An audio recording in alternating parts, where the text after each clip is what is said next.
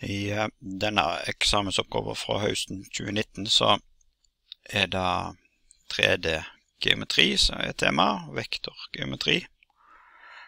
Um, I første oppgave så skal vi bestemme skjæringspunktet mellom linja L og XZ-planet. Da tenkte jeg kanskje jeg kunne begynne med å tegne et 3D-koordinatsystem. Og XZ-planet, da er vi jo en eller annen plass her. Og når jeg tegner det sånn, da ser jeg nokså greit at da må Y-koordinaten være lik null. Og eh, hvis det er tilfellet, da må altså to minus t være lik null.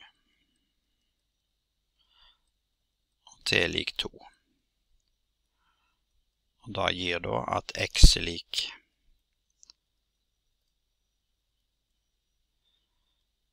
fem.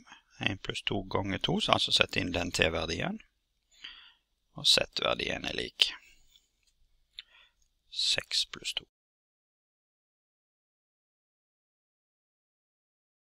Og skjæringspunktet er 5, 0, 8. Oppgave B her, da skal vi bestemme en likning for et plan, som da skulle være en også standardoppgave. Og det kan være greit å begynne med å skrive opp hvordan likninger for et plan.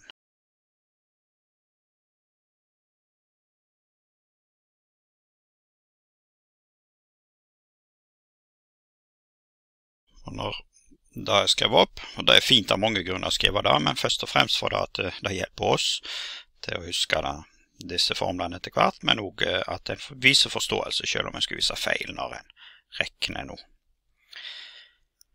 Og da har jeg jo at P er minus 2 minus 2, 6.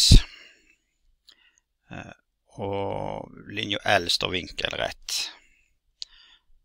Så da har vi n-vektor er lik retningsvektoren til L, som var 2 minus 1, 1.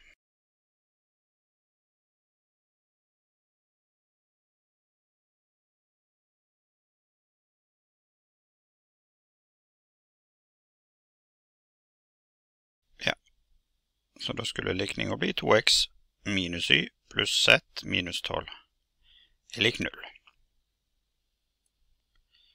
I oppgave C så skal vi oppfinne et skjæringspunkt mellom dette planet alfa og L. Og planet, la oss skrive det veldig fort opp igjen, sånn som det var da 2x minus y pluss 1 minus 12 er lik null. Og linja L har vi jo her. Da vet jeg at punktet Q er lik 1 pluss 2t. Jeg bare kaller det for Q. 2 minus t. 6 pluss t. Det skal passe inn i likninga her for, for planet. Så da bare setter jeg inn, altså bytter ut for x, y og z der.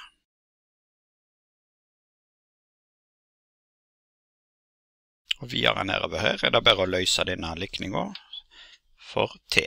Og så skal jeg sette det inn i punktet til slutt.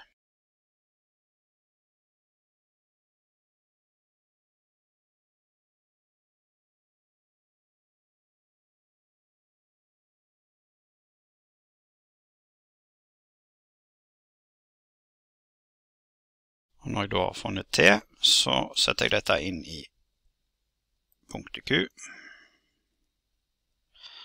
Og det, det har jeg jo her oppe.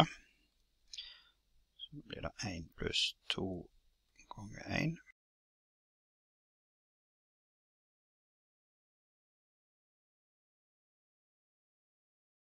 Og skjæringspunktet blir 3, 1, 7. Ja. Ei eh, nokså enkel og grei skulle være